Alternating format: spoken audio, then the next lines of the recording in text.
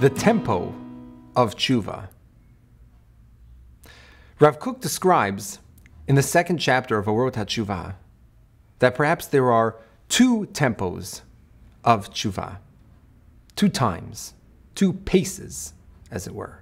One he calls tshuva pitomit, sudden tshuva, and the other tshuva hadragit, developmental tshuva, incremental tshuva. The first, he says, is bepam achat makirhu et harav et hakiur shel hachet v'nehepach leishacher. In one instant, the person recognizes the evil and the filth of mistakes, and he becomes something else. He becomes someone else. Ukvar margishu bikirbo, he feels inside hishtanut gemura. He is already suddenly transformed. It's like a bolt of lightning.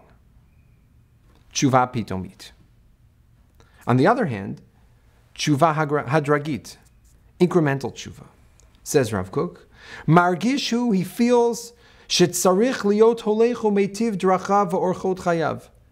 He has to improve his paths of his life, his ways. Ritzono halech machshavotav ubemahalcho zeh holechu v'kovesh la'at la'at adarkei yosher. He needs to improve his interests, his desires, his thoughts. And through this path, slowly, slowly, he conquers one step at a time the paths of righteousness. He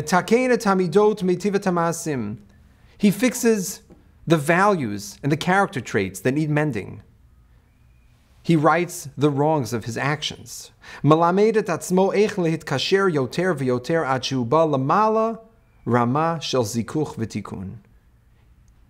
He ennobles himself, growing step by step until he becomes higher and higher in the process of self purification and fixing. Rav Kook doesn't suggest that one process is better than the other or that one is for a particular type of person. Perhaps Rav Kook is alluding to the fact that at different times in our lives, we can undergo different processes of tshuva tshuva pitomit and tshuva hadragit, the sudden transformational experiences, and then the more incremental stages of growth. So we need to be prepared for both. On the one hand, perhaps we need to be thinking, where can I catch a lightning bolt? How can I put myself in a situation where I can encounter that tshuva pitomit, that great energy, that spiritual awakening that I will find in myself. And then on the other hand, perhaps we need to be sensitive to the process of tshuva hadragit. How do we feel about ourselves deep down? How do we identify where are the aspects of our lives that need tikkun, the character traits, the values, the actions?